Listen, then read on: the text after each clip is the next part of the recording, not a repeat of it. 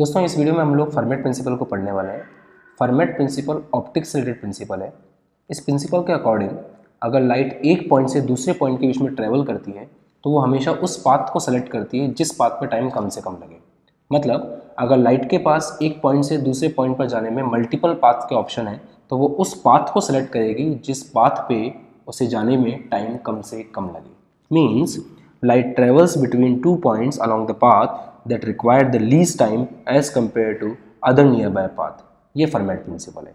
दोस्तों, इस प्रिंसिपल की हेल्प से हम लोग लॉज ऑफ़ रिफ्लेक्शन जैसा आपने पढ़ा है angle i is equal to angle r and laws of refraction that is Snell's law वो हम ड्राइव कर सकते हैं। चलिए शुरू करते हैं। सबसे पहले हम ड्राइव कर रहे हैं लॉज ऑफ़ रिफ्लेक्शन हम एक सिचुएशन को लेते हैं। ये आपकी रिफ्लेक्टिंग सरफेस है। इस रिफ्लेक्टिंग सरफेस पे लाइट इस पॉइंट वन से स्टार्ट करके पॉइंट टू तक जाती है। अगर हम पॉइंट वन से पॉइंट टू के डायरेक्ट पाथ की बात करें तो पॉइंट वन से पॉइंट टू का डायरेक्ट पाथ ये है। अगर लाइट रिफ्लेक्शन फिनोमिना के थ्रू जाती है तो हम मान लेते हैं, लाइट इस पॉइंट से यहाँ इंसिडेंट होती है, इस पॉइंट को पॉइंट ए नाम देते हैं। पॉइंट पी पर इंसिडेंस होती है, इस पॉइंट पी पर हम नॉर्मल ड्रॉ करते हैं। नॉर्मल के साथ एंगल थीटा वन है। रिफ्लेक्ट होने के बाद लाइट इस पाथ से पॉइंट टू तक पहुँचती है। ये पॉइंट बी बोला जा सकता है।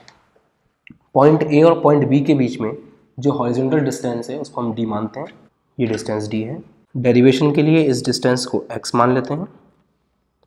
ये डिस्टेंस डी माइनस एक्स होगा। पॉइंट वन की इस हाइट को स्मॉल ए और पॉइंट बी की इस हाइट को स्मॉल बी बोल देते हैं। तो दोस्तों, ये हमने ज्योमेट्री को समझा। कि लाइट पॉइंट ए से स्टार्ट करती है लाइट रे पॉइंट पी पे स्ट्राइक करती हुई वो पॉइंट बी की तरफ़ जाती है।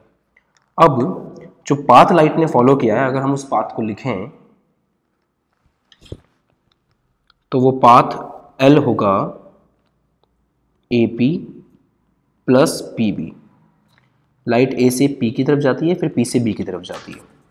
अगर इस पाथ को हम नॉन फैक्टर्स के टर्म्स में लिखें ये ए से पी इस ट्राइंगल में हाइपोटेनियस है। तो इसको लिखा जाएगा under root a square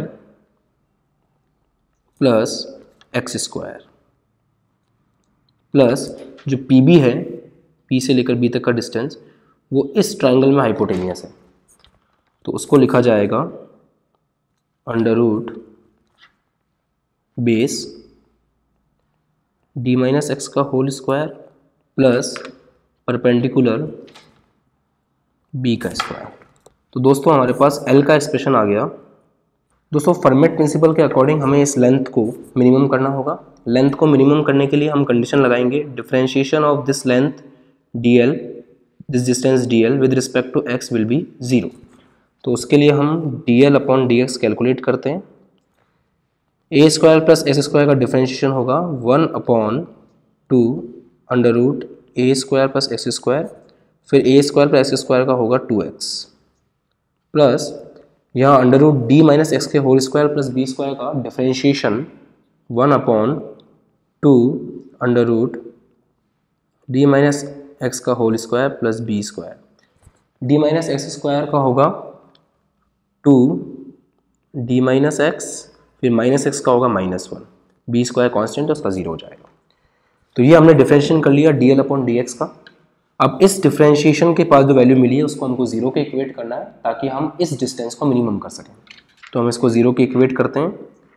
तो यहाँ टू से टू कैंसिल इस टू से ये टू कैंसिल तो it will be x upon under root a square plus x square minus d minus x upon under root d minus x का whole square plus b square is equals to zero minus की value को उधर भेज देते हैं तो x upon under root a square plus x square is equals to d minus x upon under root d minus x का whole square plus b square दोस्तों, इस ट्राइंगल में अब आप ध्यान से देखेंगे तो इस ट्राइंगल में अगर मैं साइन थीटा वन लिखूं